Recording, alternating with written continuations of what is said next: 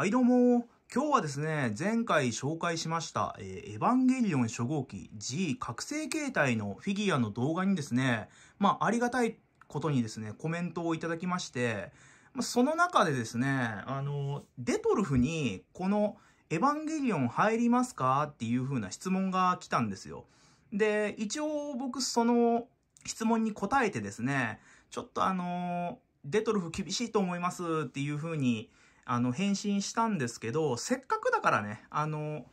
この動画にしてですね、あの、どういう風な形で入らないのかっていうのをね、少し皆様にね、お伝えできればなと思って、今動画回しております。これ、今ね、こ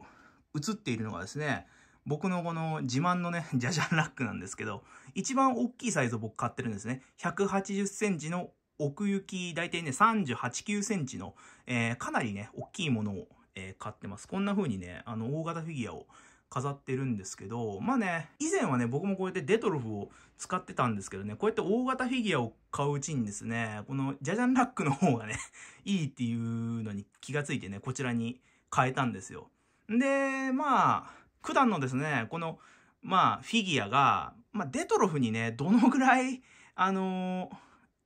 入らないかっていうのをね、今から動画で見せたいと思います。それではですね、デトルフの方見ていきましょう。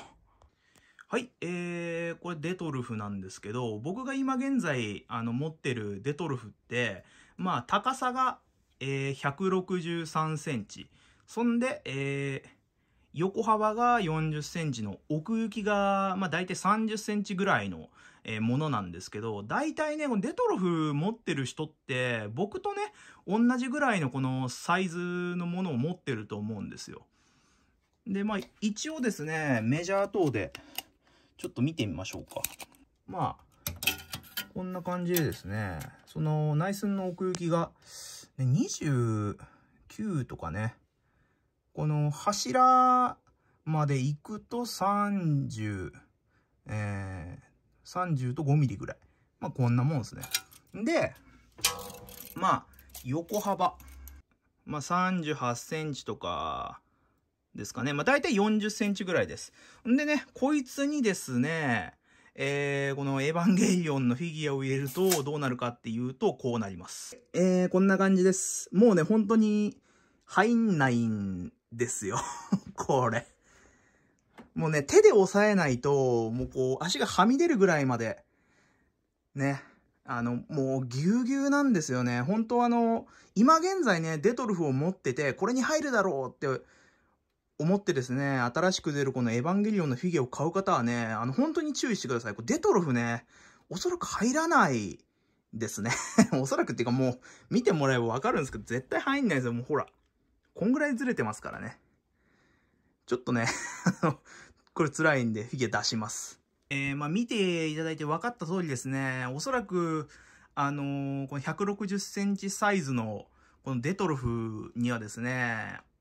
新しく出るエヴァンゲリオン G 覚醒形態のフィギュアはね、入りません。残念ながら。なんでですね、あのー、僕がもう本当におすすめするのは、もう、この際ですね、思い切って、この、ジャジャンのね、大きなフィギュア棚をね、買っちゃった方がね、僕はいいと思うんですよ。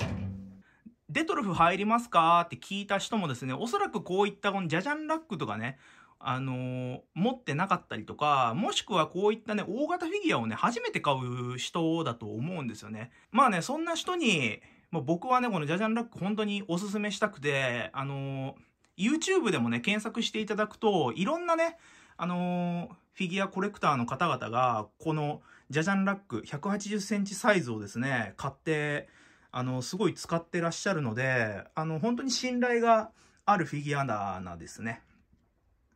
で、まあ、こう見ていただいてわかる通りですね、僕大型フィギュア3体ね、エヴァンゲリオン初号機と、まあこのね、えー、ススキガレージさん塗装売ブヨマッチョさんのですね、この世界にたった一つのキングオブモンス。これとかですね。あとは、これですね。絶版ファイブキングですよ。これもね、なかなかいいフィギュアなんでね。また、あの、時間があれば紹介したいと思います。まあ、こんな感じでですね、大型フィギュアをまあ贅沢に飾れるわけなんですよね。なんでですね、まあ、あの、もしですね、大型フィギュアをこれから買い集めようとか、あの、飾りたいなって思った人はですね、ぜひともこの、えー、ジャジャンラックおすすめします。あの、本当にね、大きいフィギュア棚が欲しいよ、でも何買ったらいいか分かりませんっていう人はですね、もうこの、ジャジャンラックの180センチのね、あの、一番大きいサイズのものを買ってもらえれば、もう間違いないんでね、ぜひぜひ、このジャジャンラック購入してみてください。いやー、ここまでね、お付き合いしていただき、ありがとうございました。えー、またね、あの動画がありましたら、あの、最後までお付き合いしていただけると幸いでございます。それでは皆様、えー、チャンネル登録、高評価よろしくお願いします。まあ、あのー、最後にですね、デトロフ、あの、入りますかっていう質問くれた方、えー、本当にね、ありがとうございます。こうやってね、動画の種にもなるし、皆さんにもね、このジャジャンラックとか、まあ、デトロフのいいとこ悪いとこ、えー、このジャジャンラックのいいところををね、しっかり伝えることができたのでね、本当に助かりました。えー、またね、何か質問ありましたらですね、気軽にコメントをしていただけると幸いでございます。それでは、また。